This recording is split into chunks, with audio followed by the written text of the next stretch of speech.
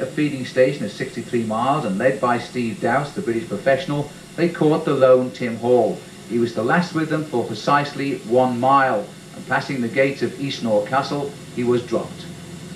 Dowse and alongside him at Jacob Ouwerkerk of the Netherlands, Matt Bazzano, the champion of Australia in white, and in the green, Kevin Kimmage of Ireland.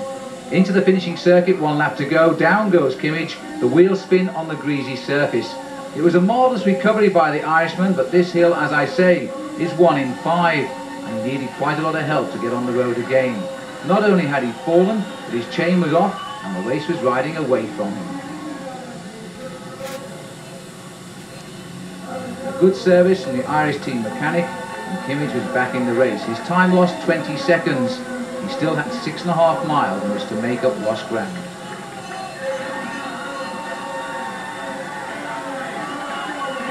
This is how it all happened. Watch his back wheel. He was on the wheel of Steve Dowse. And also watch the orange jersey of Ouwerkerk. He had nowhere to go. He simply had to stop.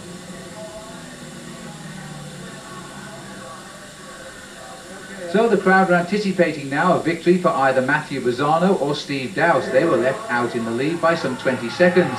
The Irishman caught them both in the last kilometre, and the last man to be passed was Steve Dowse, the professional banging his handlebars, second again, just as he had been in Leicester behind Mark Cornwall.